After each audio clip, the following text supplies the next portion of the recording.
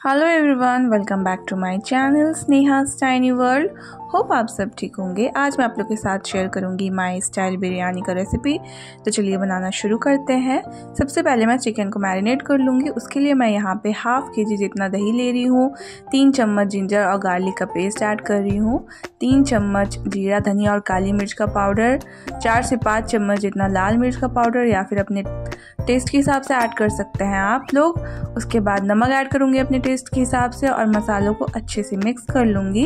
अब इसमें ऐड करूँगी एक चम्मच केवरा वाटर एक चम्मच गुलाब जल और एक चम्मच गरम मसाला पाउडर और चार से पाँच चम्मच जितना बिरयानी मसाला पाउडर और इसको भी मैं अच्छे से मिक्स कर लूँगी। अब इसमें ऐड करूँगी दो किलो जितना चिकन का पीसेस को।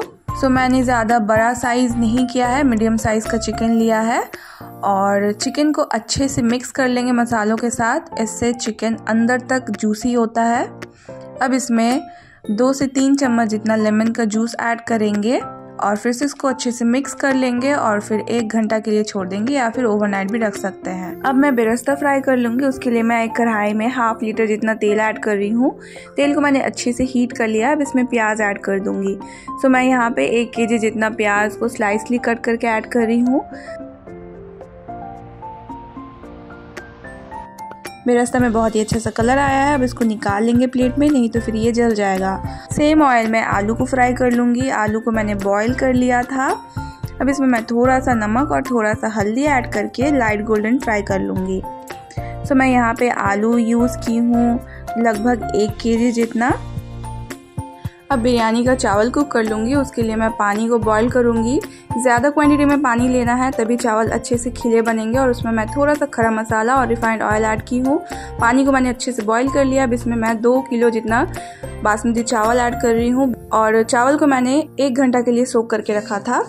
चावल 70 परसेंट जितना कुक हो गया तो इसमें नमक ऐड कर देंगे और मिक्स करने के बाद इसको स्टेन कर लेंगे जल्दी से।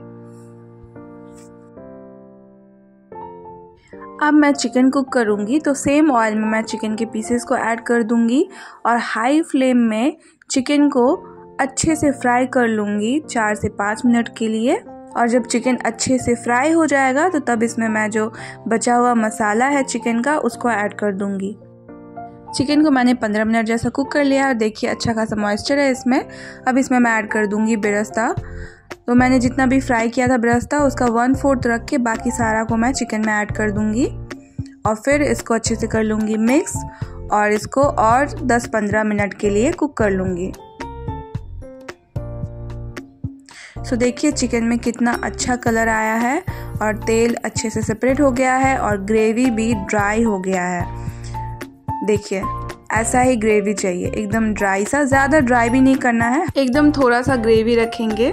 तो मैं फ्लेम को ऑफ़ कर दूँगी। हमारा चिकन डन हो गया है। अब मैं एक बाउल में दो से तीन चम्मच जितना दूध ली हूँ, उसमें मैं तीन चम्मच जितना गुलाब जल ऐड कर रही हूँ और तीन चम्मच केवड़ा वाटर और चार से पाँच ड्रॉप्स मीठा अतर ऐड कर रही हूँ और इसमें मैं थोड़ा सा एक पिंच के बराबर येलो फ़ूड कलर ऐड कर रही हूँ और इसको मैं अच्छे से मिक्स कर लूँगी।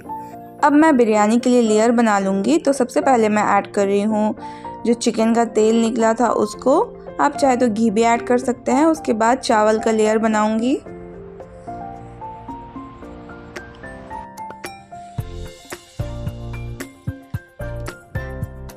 अब चावल को अच्छे से स्प्रेड कर लूँगी। इसमें ऐड करूँगी थोड़ा सा नमक। एक चम्मच जितना बिरयानी मसाला पाउडर और थोड़ा सा बेरस्ता। और इसमें ऐड कर रही हूँ चिकन का जो ग्रेवी बचा हुआ था, उसको। इससे टेस्ट बहुत ही अच्छा आता है जूसी सा बनता है और चावल खिला भी रहता है। और फिर से इसमें मैं चावल का लेयर बना लूँगी और चावल को अच्छे से स्प्रेड कर लूँगी।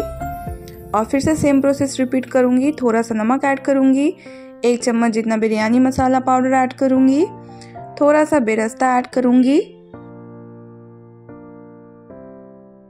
और इस लेयर में मैं ऐड करूँगी फ्राइड पोटैटोज पोटैटोज को भी अच्छे से स्प्रेड कर लूँगी और इसमें मैं चिकन का जो ग्रेवी है, उसको ऐड कर दूँगी और थोड़ा सा ऑयल भी ऐड कर दूँगी। और फिर से इसमें ऐड कर दूँगी चावल का लेयर